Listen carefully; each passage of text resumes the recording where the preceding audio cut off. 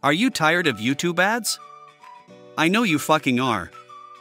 I mean, who needs to watch a damn video anymore when you can watch the 30 minute ad?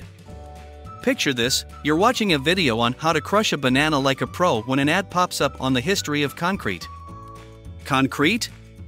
This is irrelevant to your existence and you can't even skip the fucker. What is going on with YouTube's algorithm?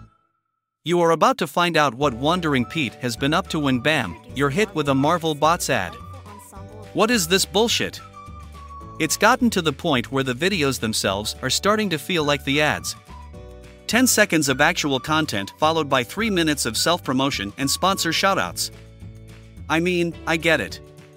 Creators need to make a living too, but when did YouTube turn into the home shopping network?